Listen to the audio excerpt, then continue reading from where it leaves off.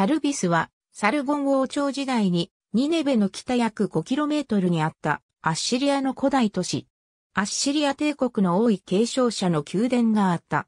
現在のイラクのニーナワー県北部にその遺跡テルシェリフカーンがある。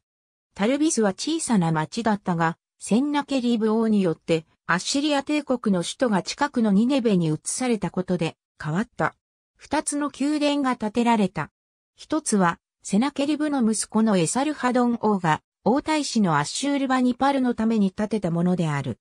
宮殿の敷地内には二つの神殿があり、一つはネルガル神殿でセンナケリブによって建設され、もう一つはアッシュールバニパルによって追加された。ニネベの私壁の北西にある門の一つは、ネルガルにちなんで名付けられ、その門からタルビスまでの道は、センナケリブによって完全に石で舗装されていた。タルビスはアッシリアのサルゴン王朝時代に特別な役割を果たした。ここに置かれた宮殿は、継承の家、つまりアッシリアの王位継承者が国家を統治するまでの準備を行う複合施設だった。ここで継承者は徐々に王国の実務を学びつつ、西軍療法の重要な役割を果たすようになっていった。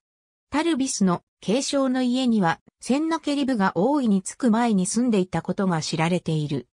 王位継承者としての彼の仕事には、情報機関、つまり州や国境地域から情報を収集して、それを父親のサルゴン2世に伝えることで、王が正しい判断を下せるようにすることが含まれていた。センナケリブの息子であるエサルハドオンは、継承の家で生まれ育った。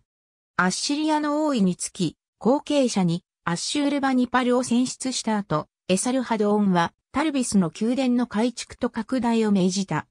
我はエサルハドン、偉大な王、力ある王、世界の王、アッシリアの王、バビロンの支配者、シュメールとアッカドの王、ゲエジプトと上、エジプト特殊の将の王。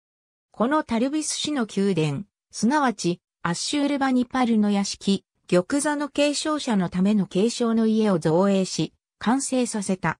アッシュールバニパル自身は、彼の碑文の一つで、多い継承者として、継承の家で包括的な教育を受けたことを強調している。我は、聞くとともに、総合なる、継承の家に入った。祖にして我が父の父たるセンナケリブの設けた王室の中核。王子としてそして王としての力を連成した場所。祖にして我が父、エサルハドンが生まれ育ち、アッシリアを追う王権を連成し、すべての君皇を従え、家族を育み、一族を精鋭させた場所。そして我がシュールバニパルが、ナブー神の英知を得て、あらゆる総称に指示して、書を学び、矢を射る術を、牙と戦車を操る術を学んだ場所。継承の家とは別に、タルビスには、センナケリブによって建立された、エメスラム神殿つまり、ネルガルのための神殿もあった。タルビスは、バビロン王、ナボポラッサル治世の12年目、キュアクサレス2世の率いる、メディア王国軍によって占領された。アッシリア帝国の滅亡後は衰退した。ニネベ城壁図。ネルガルモンは北壁の西寄りの場所にあるその遺跡であるテル。シェリフ・カーンは1850年に大英博物館に支援されたオースティン・ヘンリー・レアードによって初めて調査され、次に1852年にヘンリー・ローリンソンによって調査された。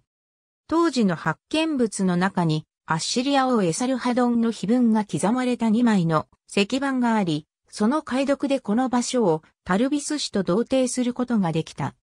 1968年、モスル大学のイラクの考古学者チームがアメル・スレーマンの指導下にこの場所の発掘を開始した。アメル・スレーマンはエサルハドンの碑文で継承の家として使われた宮殿の遺構を発見し、その大部分を調査した。ありがとうございます。